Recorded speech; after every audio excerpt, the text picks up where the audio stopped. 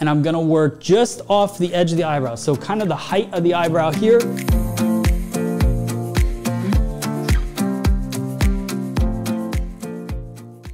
All right guys, what's up? Welcome to today's video. Today I'm gonna share with you guys how to cut a wedge haircut. Uh, this is gonna be super fun and I'm gonna try to make the technique as simple as possible because this isn't a complicated haircut. The sectioning is super important. So we're gonna go over the sectioning step by step. Also, uh, some of the tools that I use, I'm gonna use the TriRazor today in some parts of this haircut. I'm gonna use scissors in other parts of this haircut as well. So we're gonna really mix up the tool choice because that'll give us different textures within the cut. So I uh, hope you guys are as excited as I am. Let's get started with the cut. Here we go. The sectioning, I'm gonna go straight back on the head shape. Now, if your client wears a left-hand side parting, right-hand side parting, or center parting, doesn't really matter at the beginning of this cut. At the end, when we go to cut the top, then we really kind of need to know. For now, I'm gonna start this cut on a left-hand side parting. For a wedge haircut, I like it with a little bit of a side parting. So we're gonna start off, comb everything straight back, and I'm gonna work just off the edge of the eyebrow. So kind of the height of the eyebrow here, and I'm gonna take my line straight back.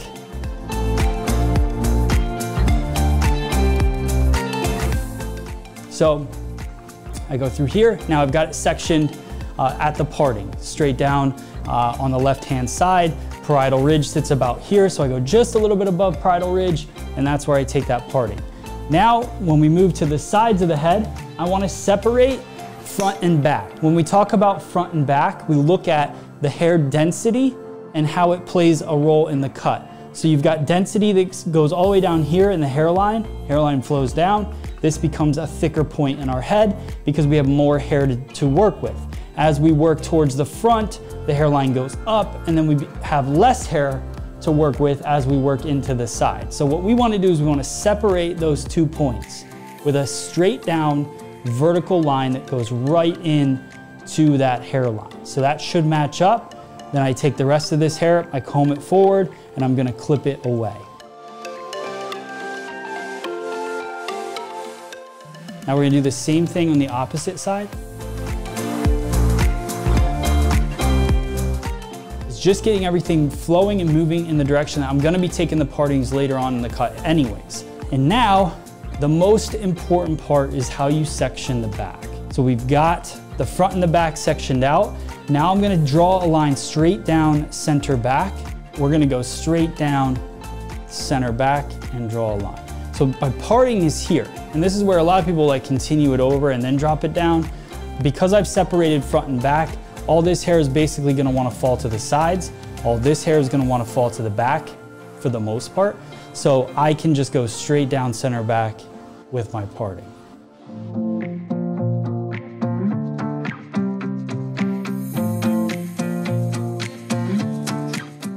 All right, so why is the back so important? Because this, a wedge is a very stacked up haircut. So what I don't want to do is stack too high. So it's really just playing off of this occipital bone area. So when I look at where do I want to section and where do I want to cut this wedge to because I'm going to look at this as a, a vertical line that's going to move just like this straight up the head. So where the stack's going to happen, see where the head peels away right there? That's where the hair is going to start to stack and then the rest of this disconnection is gonna kind of fall over it and build a little bit extra weight and length. So I don't wanna go too low because I don't wanna have it too bulky in the back and I don't wanna go too high to lose that kind of disconnect, which is what's gonna make this kind of have a modern feel.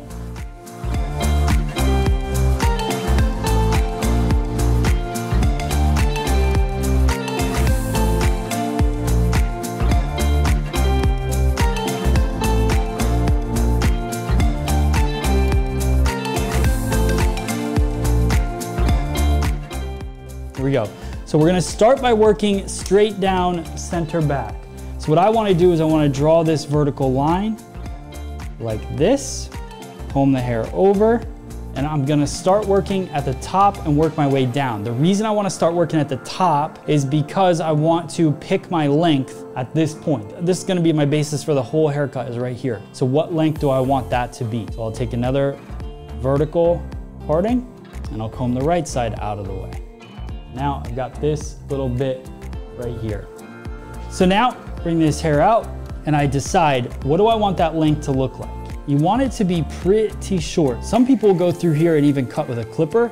For me, it's a little more machine made with the line. I like to start this line here and then continue cutting that line. Now I'm not following the head shape, I'm following the line that I wanna create. So right in here,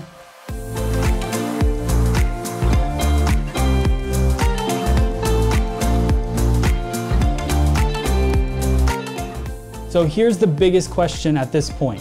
What is the over direction? So my over direction is just to the previous, not even all the way over. So bringing that previous section halfway to the new, I wanna travel across the back of the head. I'm not trying to build up too much length uh, in the corners at this point. So I don't want there to be too much over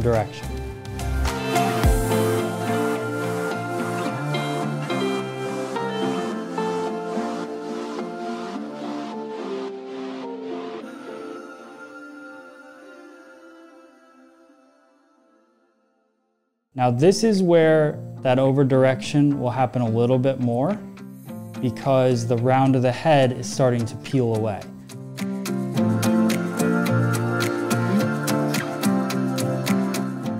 And that's where, for me, this cut's gonna be a little more personalized rather than using a clipper. If I used a clipper, I could go straight up like this and cut through it, which would be fine, but we tend to round a little bit more with a clipper, so then you lose the length over here and I want to have a little bit of that extra length.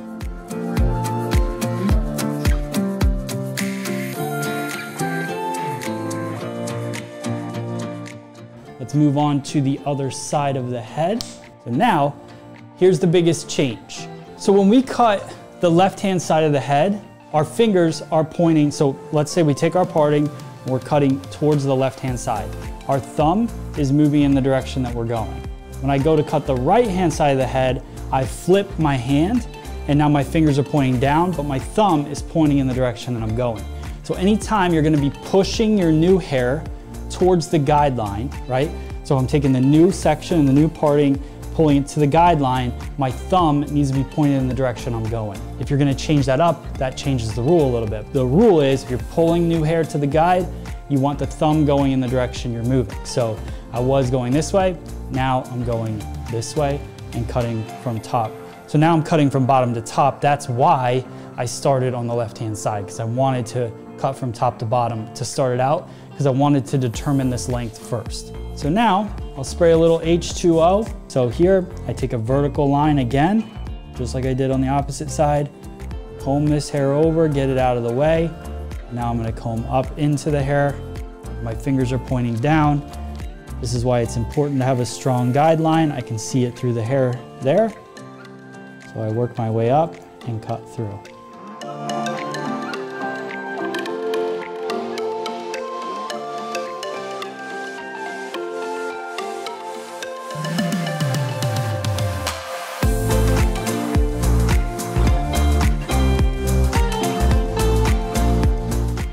This is the hardest part right here because what you're gonna want to do with your hands is shift to become more comfortable. You're gonna wanna twist and bend your fingers uh, and you can't because the more you twist and bend, it changes the lengths of the hair.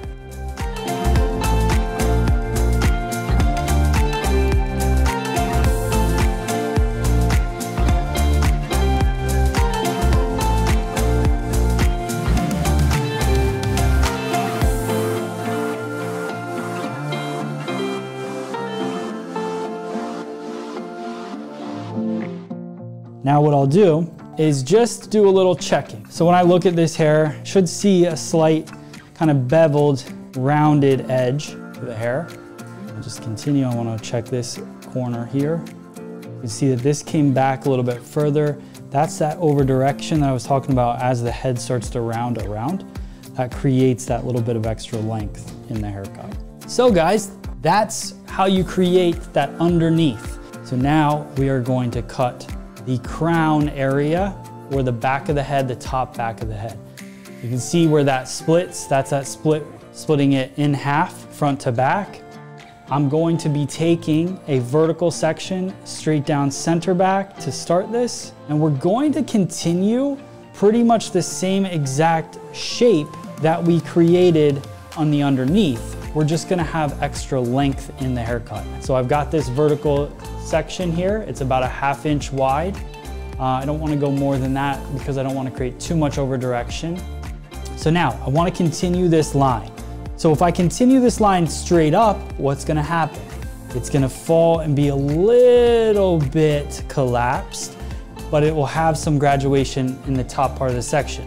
What I mean by that is you gotta look at why when weight builds up. When weight builds up, it's below 90 degrees. 90 degrees is straight out from the head. So you look at how 90 degrees kind of shifts and plays out. So this is 90 degrees here. 90, 90, 90, 90, 90, right? So if at this point, and I cut the hair here, I'll build up weight. If I'm at this point here, and I cut the hair here, I'll build up weight. Now, if I'm at this point and I cut the hair here, I'm not building up weight. So you gotta decide, what I think about it is, I remove weight, remove weight, and then where do I wanna start to add it to create this shape? Sometimes I'll take my client, just like this in the mirror, and she's got her head, I'll make sure it's straight on with the mirror, and I'll look at this shape that I wanna build up, and I think about with the comb, where I wanna place that weight that will look the best on her head shape. So when I look at this here and I look at her chin or her jawline, I think about, okay, well, if this shape, if it's flattened here, it, it doesn't look right with her jawline. If it has a little bevel and a little weight buildup, it looks great with her jawline, starts to extend the head shape out just a little bit and makes it more symmetrical. If they don't have a strong chin, right, then I don't want to build too much weight back here because it's going to look like she's getting, you know, blown with a fan backwards, right? If she's got a strong jawline and her chin shoots out a little bit, I don't mind balancing out and building it out just a little bit. What I'm doing here is I want to start building that weight. Now, what does that mean? How do I do that? So as I go here, if I drop my angle like this, I build up more weight. So now you can kind of see how that weight's gonna build up and how it's gonna get a little bit heavier. If I go more straight up parallel to the wall, the weight's not gonna build up till up here. I wanna build a little extra weight out in this haircut. So I'm gonna come here, out to my hand, and now I'm gonna start building up that weight line.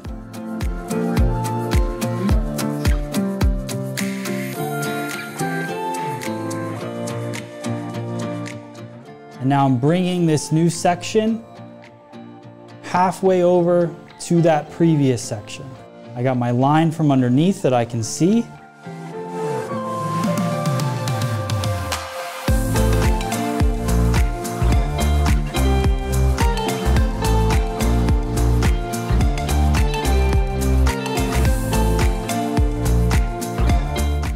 So now, because of the head shape, we start to get a, movement horizontally within the weight. So take a look at this here. Everything came back straight back to me. I didn't cut it differently from an angle standpoint. Everything came straight back. But because the head shape curves around, over direction changes. You're working on a round. So if I pull this here, it's obviously only going this from this point to this point. But if I take this hair, it's started to work its way around the round of the head. Now it's coming back to this point here. So it's going to sit longer.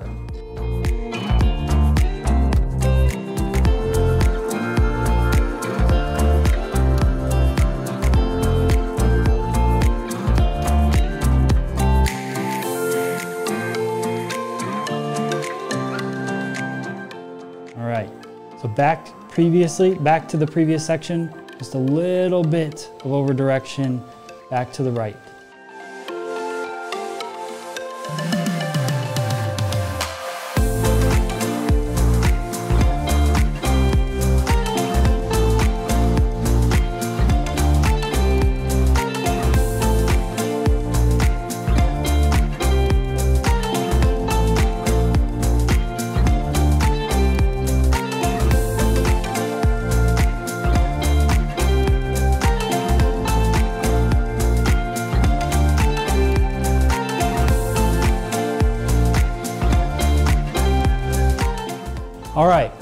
You'll see a lot of different ways of cutting this on the internet. One of the ways that I've seen is that they just follow this line and cut it and it becomes very heavy.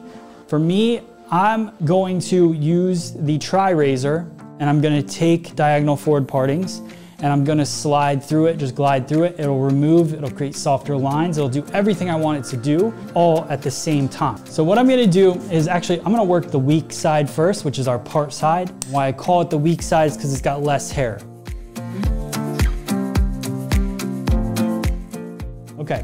So what I'm gonna do is I'm gonna draw a diagonal line and that line is gonna follow the jawline.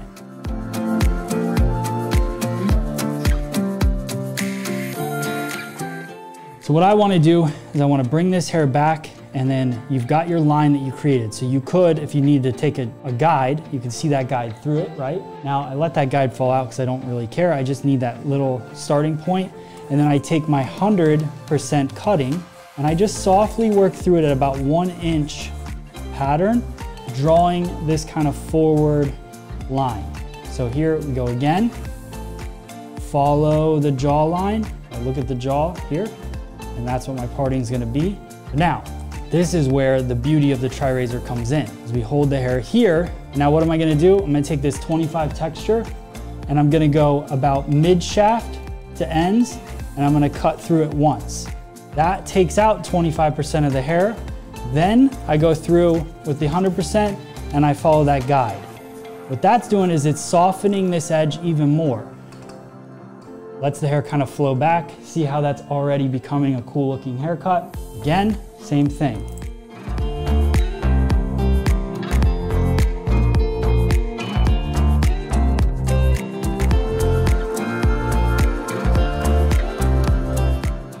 This gets a little bit weaker, so I don't need to do the 25 texture because you can see right here, the hairline goes up and over. This is the weakest part of the hair right here in this triangle corner.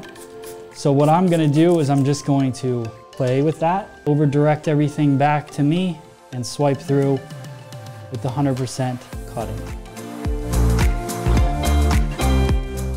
All right, so again, follow the jaw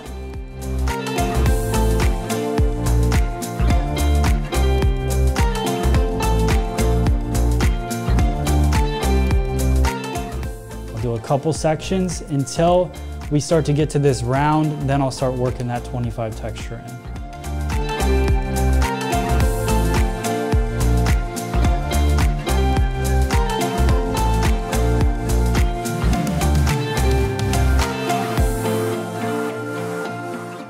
Now we're on the round. So we've crossed that parietal ridge area. So the hair is getting heavier and heavier as we go.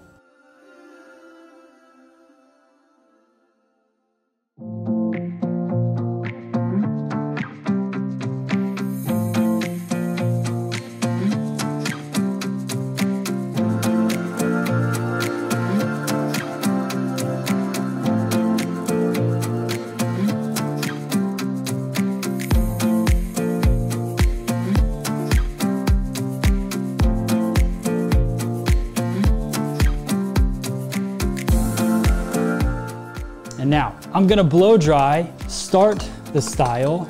This is gonna be asymmetrical at this point because obviously I'm over directing this all the way over. So it's coming from this point. So it's gonna fall longer than this side, which I didn't over direct barely at all. So what I'll do is once I get the haircut blown dry, smoothed out, then I'll start to go in and balance both sides and uh, see where I'm at with my texture and everything. But for the most part, we are, we're getting close. So you can see that kind of wedged up effect, uh, but we're gonna get it blown dry. I'm gonna use Paul Mitchell sculpting foam uh, for this style.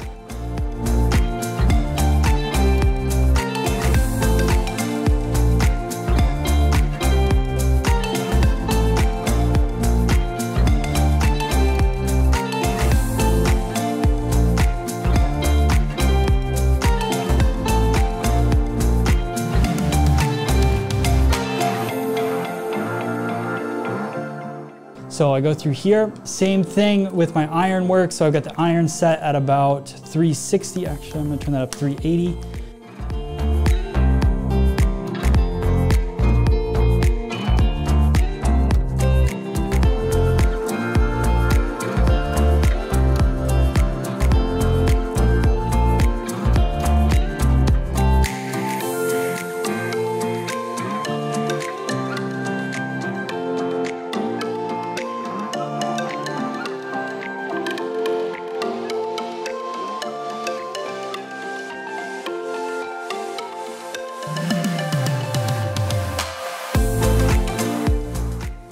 Thinking like just adding a little curve to it.